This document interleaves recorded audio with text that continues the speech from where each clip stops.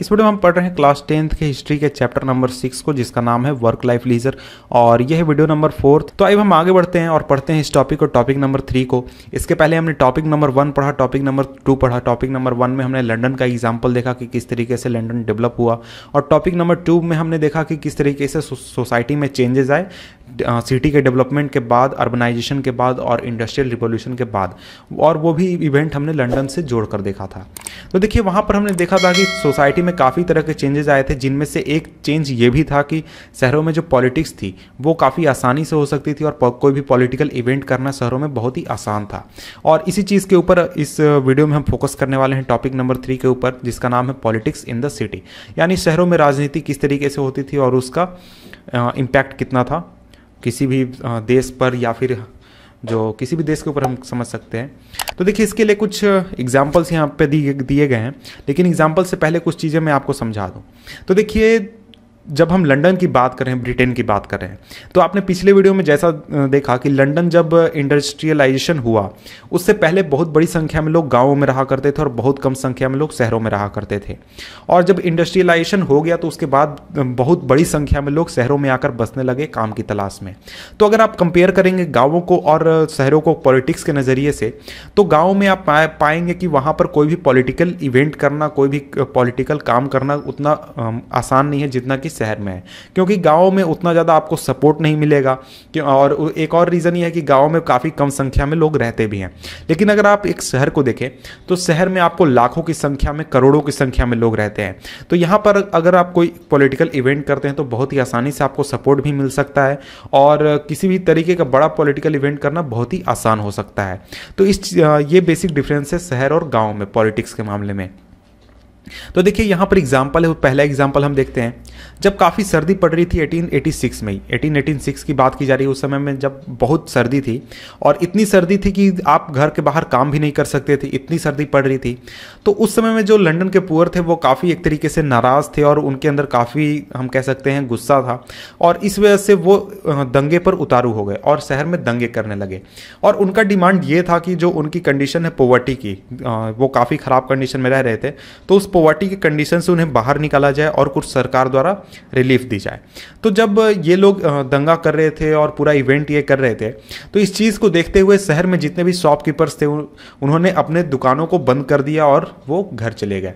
और दस हज़ार की भीड़ को देखते हुए पुलिस को भी बुलाना पड़ा शॉपकीपर्स ने भी अपने दुकान बंद कर दिए। बहुत एक तरीके की अफरा तफरी के अफरा तफरी का माहौल हो चुका था। और ये लोग एक तरीके से मार्च कर रहे थे डेफ्ट फोर्ट से लंदन तक। यानी कि इनका जो आ, हम दंगा कह सकते हैं या फिर मार्च कह सकते हैं ये डेफ्ट फोर्ट से लंदन तक हो रहा था। और इस मार्च को जो है और इस मार्च में आने वाले लोगों को एक तरीके से पुलिस द्वारा संभाला गया और किसी भी तरीके से इस इवेंट को ख़त्म किया गया। और इसी तरीके का एक और दंगा हुआ था 1887 में। इस टाइम, इस समय में जो ये दंगा हुआ या फिर हम राइट कह सकते हैं, इसको काफ़ी ब्रूटली, काफ़ी एक तरीके से कड़ाई से इसको सप्रेस किया गया पुलिस द्वारा। और इस इवेंट को, यानी जो 1887 में 1887 में जो इवेंट हुआ, उस इवेंट को कहा जाता है ब्लडी संडे ऑफ़ नवंबर। 1887 यानी संडे को नवंबर में ये इवेंट हुआ था और काफ़ी ब्रूटली लोगों को सप्रेस किया गया था। तो देखिए, इस इवेंट को हमने देखा कि बहुत ही आसानी से जो गरीब लोग थे, वो एक इकट्ठा हो गए, एक साथ आ गए और उन्होंने सरकार के खिलाफ या फिर पूरे सिस्टम के खिलाफ विद्रोह कर दिया। लेकिन अगर आप इसी चीज़ को गाँव में देखें तो गाँव में ये करना उतना पॉसिबल नहीं है, क्योंकि जो संख्या बल है, आपको उतना नहीं मिलेगा और आपको उतना सपोर्ट भी नहीं मिलेगा और आपका जो अपोनेंट होगा, यानी सरकार हम कह सकते हैं, वो काफ़ी पावरफुल होगी। इसके बाद इस पूरे इवेंट के बाद, यानी 1887 के बाद, दो साल बाद फिर से एक इवेंट हुआ, जिसमें जो लंदन के जो डॉक वर्कर्स थे, वो स्ट्राइक पर चले गए और वो उन्होंने पूरे शहर में मार्च निकाला। एक राइटर के अनुसार अनुसार, उस समय के एक राइटर के अनुसार, हज़ारों की संख्या में जो स्ट्राइकर्स थे, उन्होंने शहर के रास्तों से मार्च निकाला और इस पूरे इवेंट में कहीं भी किसी भी तरीके की ना चोरी हुई, ना किसी विंडो को ब्रोक किया गया, ना कि किसी तरीके का पत्थर चला, कुछ भी नहीं हुआ। और ये जो इवेंट था, ये जो स्ट्राइक था, ये करीब बारह दिनों तक चला। और इसका मेन मकसद ये था कि डॉक वर्कर्स यूनियन जो है, उसको रिकॉग्नाइजेशन मिले। यानी सरकार द्वारा रिकॉग्नाइजेशन मिले, पहचान मिले। तो देखिए, यहाँ पर सिंपली मैं आपको ये समझाने की कोशिश कर रहा हूँ, या फिर ये जो किताब है, ये आपको ये समझाने की कोशिश कर रही है कि देखिए, अगर आप बहुत बड़ी संख्या में लोगों को देखेंगे शहरों में तो उन्हें बहुत ही आसानी से पॉलिटिकल इवेंट्स में या फिर पॉलिटिकल रीजंस के में इन्वॉल्व किया जा सकता है शहरों में। और शहर का जो लार्ज पॉपुलेशन है, वो एक तरीके का थ्रेड भी है और एक तरीके का अपॉर्चुनिटी भी है। क्योंकि उनसे आप, एक जगह पर आपको बहुत बड़ी पॉपुलेशन मिल जाती है वर्कफोर्स मिल जाता है, लेकिन आपके पास हमेशा ये खतरा हो सकता है कि आप एक, क्या कहते हैं, विद्रोह हो जाए या फिर इसी तरीके का राइट हो जाए या कुछ और हो जाए।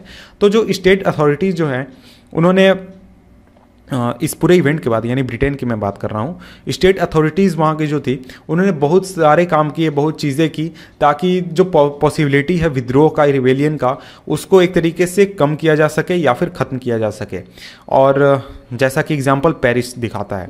और इसके बाद अब हम आगे पढ़ते हैं तो यहाँ देखिए इमेज है, जो डॉक वर्कर्स स्ट्राइक हुआ था 1889 में उसका इमेज है। यहाँ पर काफ़ी संख्या में लोग जो हैं उन्होंने तस्वीरें खिंचाई हैं। यहाँ पर देखिए एक चीज़ है हॉस्मनाइजेशन ऑफ़ पेरिस तो देखिए ये एक इंपॉर्टेंट इसलिए है क्योंकि इसके ऊपर आपके किताब में लास्ट में क्वेश्चन पूछा गया है। इसलिए मैं आपको पढ़ा रहा हूँ। तो देखिए ये आखिर प्रोसेस क्या है? ये आखिर है क्या हॉस्मनाइजेशन तो ये सिंपल पेरिस जो था, पेरिस शहर, उसका सुंदरीकरण का प्रोसेस है। और हॉस्मनाइजेशन इसलिए इसे कहा जाता है क्योंकि जो इस पूरे इवेंट को बनाने वाले थे, यानी जो आर्किटेक्ट थे, जिन्होंने इस शहर को डिज़ाइन किया था, पेरिस को, सुंदरीकरण के प्रोसेस के दौरान, उनका नाम था यहाँ पर बैरन हॉसमैन। इसलिए इस प्रोसेस को हॉसमैनाइजेशन कहा जाता है। इस चीज़ को हम पढ़ लेते हैं तो आप आसानी से उस क्वेश्चन को आंसर करने पाएँगे। अठारह सौ बावन में जो लुई नेपोलियन थर्ड था जो कि ने, नेपोलियन बोनापार्ट का भतीजा था उसने खुद को इम्पर घोषित कर दिया। और इम्पर बनने के तुरंत बाद ही उसने पॉलिट सॉरी पेरिस का रिबिल्डिंग की शुरुआत की। यानी पेरिस को पुनः पेरिस के पुनर्निर्माण की शुरुआत की काफ़ी जोश के साथ। और इस पूरे इवेंट के लिए इस पूरे काम के लिए जो जिस व्यक्ति को चीफ आर्किटेक्ट बनाया गया उनका नाम था बैरन हॉसमैन बैरन हॉसमैन और इन्हीं के नाम पर इस पूरे प्रोसेस को हॉस्मनाइजेशन कहा जाता है। हॉस्मनाइजेशन और आ, और वो सीन के रहने वाले थे शायद और वो सीन के परफेक्ट थे। और उनका नाम जो है वो काफ़ी प्रचलित था। और काफ़ी फ़ेमस था जब भी बात आती थी फोर्सिबल रिकन्स्ट्रक्शन की। यानी कि जैसे कि अब फोर्सिबल रिकन्स्ट्रक्शन इसलिए क्योंकि आप पेरिस को भी देखें तो पेरिस को भी ऐसा नहीं है कि सभी लोगों ने खुशी खुशी स्वीकार किया था कि इसको रिकन्स्ट्रक्ट करना चाहिए, फिर से बनाना चाहिए। उसका रीज़न ये था कि पेरिस को बनाने में बहुत सारे लोगों को, बहुत सारे गरीब लोगों को उनके घरों से हटा दिया गया था और बाहर दूसरे जगहों पर ले जाकर बसाया गया था। तो इसलिए कहा जाता है फोर्सिबल रिकन्स्ट्रक्शन और ऐसा नहीं है कि ये इवेंट सिर्फ़ पेरिस के साथ हुआ था और भी दूसरे जगहों के साथ हुआ था। और जो पुअर लोग थे, गरीब लोग थे, उन्हें पेरिस के सेंटर से हटाया गया था ताकि जो एक तरीके से पॉलिटिकल रिवेलियन ना हो इस प्रोसेस, पूरे प्रोसेस के दौरान और जो शहर है उसकी सुंदरता को भी बढ़ाया जा सके इस वजह से। और करीब ये जो प्रोसेस था, अठारह सौ बावन के बाद करीब सत्रह सालों तक चला। सत्रह सालों तक हॉसमैन जो थे, वो पेरिस में रहे और उन्होंने काम किया। शहर को सुंदरीकरण करने के लिए साफ़ सुथरा करने के लिए और काफ़ी चीज़ें बनाने के लिए। और इस पूरे प्रोसेस में बहुत चौड़े चौड़े लंबे लंबे सीधे सीधे रास्ते बनाए गए और बॉलवे बॉलीवार्ड्स बनाए गए। तो ये ऐसे रास्ते होते हैं जो छायादार मार्ग सिंपली आप समझ सकते हैं। और इसके साथ ही ओपन स्पेसेस बनाए गए जहाँ पर जगह खाली थे। और इसके अलावा full grown full grown trees यानी कि जो बड़े बड़े पेड़ होते हैं, उनको प्लांट किया गया। और 1870 आते आते तक जो पेरिस के जो 20 परसेंट स्टेट थे उनको हॉसमैन के क्रिएशन के ज़रिए के मार्गदर्शन में बना दिया गया था, यानी उनकी मर्ज़ी के अनुसार बना दिया गया था। और इसके साथ ही पुलिसमैन को एम्प्लॉय किया गया, पुलिस को बैठाया गया नाइट पेट्रोल शुरू किए गए, इसके साथ ही बर्थ शेल्टर्स बनाए गए और टैप वाटर्स बनाए गए। तो देखिए, यही पूरा प्रोसेस है हॉस्मनाइजेशन यानी जो पेरिस का रिकन्स्ट्रक्शन है, उसी को हॉस्मनाइजेशन कहा जाता है। तो देखिए, इसका एक पॉजिटिव साइड था और एक निगेटिव साइड भी था। तो पॉजिटिव साइड हम यहाँ पर देख लेते हैं। पॉजिटिव साइड ये था कि इस पूरे इवेंट के दौरान, इस पूरे प्रोसेस के दौरान बहुत बड़ी संख्या में लोगों को जॉब्स मिले थे। और आप अगर पेरिस की बात करें तो पेरिस में उस समय में करीब 20 परसेंट लोग लोग जो थे, वो इसी फ़ील्ड में काम कर रहे थे, यानी कि कंस्ट्रक्शन के फ़ील्ड में काम कर रहे थे। लेकिन इसके बावजूद, इस पूरे प्रोसेस के दौरान करीब साढ़े तीन लाख लोगों को पेरिस के सेंटर से हटाकर किसी दूसरे जगह पर जाकर बसाया गया था, ताकि शहर की सुंदरता को ज़्यादा बेहतर किया जा सके, ज़्यादा अच्छा बनाया जा सके। लेकिन इसका एक देखिए निगेटिव साइड है या फिर निगेटिव थॉट है इस चीज़ के बारे में, वो ये है कि वहाँ के जो अमीर लोग थे, गरीब लोग तो इस पूरे प्रोसेस को ख़राब मान ही रहे थे और उन्हें काफ़ी अच्छा लग, नहीं लग रहा था इस पूरे प्रोसेस में। लेकिन इसके साथ ही जो अमीर लोग थे, उनका भी मानना था कि इस पूरे शहर को एक कड़ाई से या फिर बुरे तरीके से ट्रांसफॉर्म किया जा रहा है, जैसा इस शहर को नहीं होना चाहिए। और इस चीज़ में एक जो गॉनकॉट ब्रदर्स हैं, जो राइटर्स थे वो उन्होंने 1860 में बताया है कि वो इस बात से काफ़ी नाराज़ थे कि जो पुराना जो लाइफ था सिटी का या फिर रोड्स का, उसको एक तरीके से ख़त्म कर दिया गया और या फिर हम कह सकते हैं सड़कों को मार दिया गया या फिर सड़क, सड़कों के ऊपर लाइफ को मार दिया गया। और एक अपर क्लास कल्चर को डेवलप किया गया। इस बात से वो काफ़ी ज़्यादा नाराज़ थे, ऐसा उनका कहना था। और दूसरे मानते थे कि जो हॉर्समैन थे, उन्होंने एक सड़कों की हत्या कर दी है और उसके जगह पर एक ऐसा शहर बनाया गया, बनाया है, जिसमें रोड जो है वो काफ़ी इम्पटी हैं, शहर जो है वो काफ़ी बोरिंग है और पूरा शहर जो है वो एक जैसा दिखता है। यानी हर रोड किसी भी रोड में जाएँ तो वो आपको वैसा ही दिखेगा जैसा दूसरा रोड दिखता है। और एक प्ले किया गया था मेजो नुवे ये 1866 में लिखा गया था। और इस प्ले में एक ओल्ड शॉपकीपर जो है, वो कहता है कि अब अगर आजकल आपको थोड़ा, क्या कहते हैं, घूमने फिरने भी जाना है, चलने फिरने भी जाना है तो आपको मिलों तक चलना होगा, काफ़ी दूर जाना होगा। और आप किसी भी जगह जगह जाएँ तो आपको हमेशा चलना होगा। काफ़ी परेशानी चीज़ है, परेशानी नहीं मतलब काफ़ी देखने में अब उतना उदास अब उदास लगता है। पहले जितना उतना जीवंत नहीं रहा हमारा जो शहर है वो। और पूरा शहर जो है वो एक जैसा दिखता है। तो देखिए, ये जो चीज़ है निगेटिव जो थी निगेटिव बात इस चीज़ के बारे में।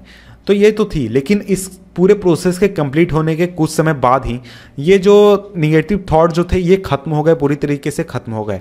और ये जो चीज़ जो थी, ये लोगों के प्राइड का विषय बन गई। यानी हमारा जो शहर है, वो इतना सुंदर है, इतना साफ़ है, इतना अच्छा है, इस तरीके के लोगों के थॉट्स आ गए।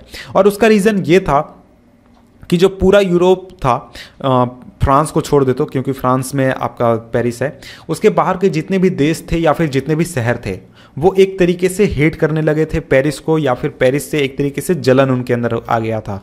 उसका रीज़न ये था कि पेरिस जो था वो काफ़ी खूबसूरत हो चुका था और दूसरे शहर जो थे वो उतने खूबसूरत नहीं थे। और इसके बाद जो पेरिस था वो एक तरीके का हब बन चुका था नया आर्किटेक्चरल सोशल और इंटेलेक्चुअल डेवलपमेंट्स के लिए, या फिर हम कह सकते हैं, क्या कहते हैं, खोज या फिर एक्सपेरिमेंट एक्सपेरिमेंट के लिए। और जो कि एक तरीके से काफ़ी इन्फ्लुएंशल इन्फ्लुएंशल थे ट्वेंटी सेंचुरी के दौरान। और ऐसा नहीं है कि इन चीज़ों को सिर्फ़ पेरिस में या फिर यूरोप में अपनाया गया था, इसके अलावा यूरोप के दूसरे जगहों पर भी अपनाया गया था। तो ये हमने देख लिया हॉस्मनाइजेशन इसके बाद देखिए टॉपिक नंबर फोर है। टॉपिक नंबर फोर को हम नेक्स्ट वीडियो में पढ़ेंगे। टॉपिक ना टॉपिक का नाम है the city in colonial India तो मिलते हैं आपसे नेक्स्ट वीडियो में, तब तक के लिए गुड बाय